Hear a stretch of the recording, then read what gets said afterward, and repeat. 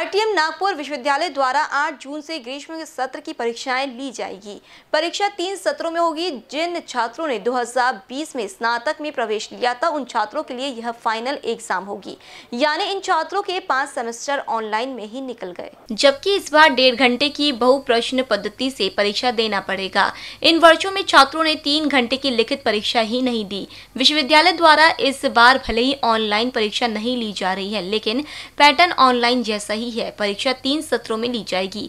पहला सत्र सुबह साढ़े नौ बजे से शुरू होगा, दूसरा सत्र दोपहर बारह बजे और तीसरा सत्र दोपहर साढ़े तीन बजे से होगा। छात्रों के लिए पहले ही गाइडलाइन जारी कर दी गई है। छात्रों को परीक्षा से पंद्रह मिनट पहले केंद्र में प्रवेश दिया जाएगा, जबकि परीक्षा शुरू होने के पंद्रह मिनट देरी से आने वालों को प्रवेश नहीं दिया जाएगा। परीक्षा होम सेंटर में ली जा रही है। पहले दिन लगभग सभी स्नातक की अंतिम वर्ष की परीक्षा होगी। पूरे दो वर्ष बाद होने जा रही परीक्षा को लेकर छात्रों में उत्साह है, लेकिन भीषण गर्मी होने से छात्रों की परेशानी भी बढ़ेगी। कैमरा पर्सन राजकुमार मोहड़ के साथ अभिषेक पानसी बीसीएन न्यूज़ नागपुर। या परीक्षेमध्ये एकूण पन्नास प्रश्न पन्नास पैकी विद्यार्थ्यांना चाळीस प्रश्न सोडवायचे आहे तिथे प्रत्येक प्रश्नाला पर्याय दिलेले असतील कुठे चार पर्याय असतील कुठे दोन पर्याय असतील ट्रू आर फॉल्सचे जर उत्तर असेल तर तिथे दोन पर्याय असतील.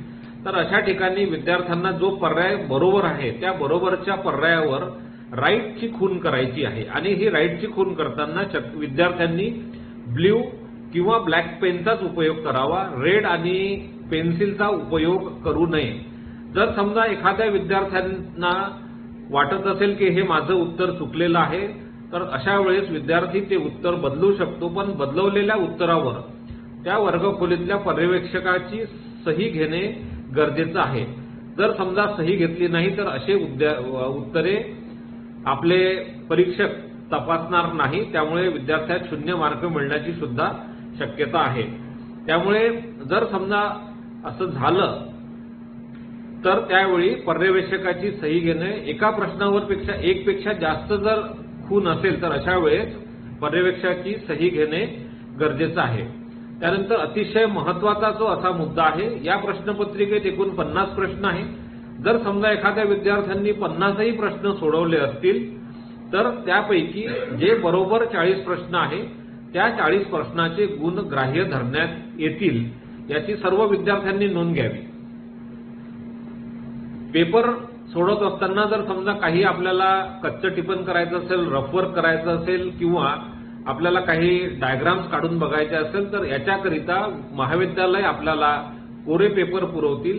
हे कोरे पेपर आपण जेव्हा पेपर आपल्या पर्यवेक्षकाकडे देऊ तेव्हा ते सर्व कोरे पेपर संबंधित वर्गाच्या पर्यवेक्षकाकडे आपल्याला सोडून वर्गखोलीतून जायचं आहे. याचा अर्थ आपण परीक्षा संपल्यानंतर कुठलाही पेपर सोबत परत घेऊन जायचा नाही तर रेफवर्क असो किंवा आपला क्वेश्चन पेपर असो त्याचप्रमाणे आपल्या वर्गखोलीतील पर्यवेक्षक आपल्याला अटेंडंट शीट देईल. त्या अटेंडंट शीटवर काळजीपूर्वक विद्यार्थ्याला आपल्या नावाच्या समोर सही करायची आहे.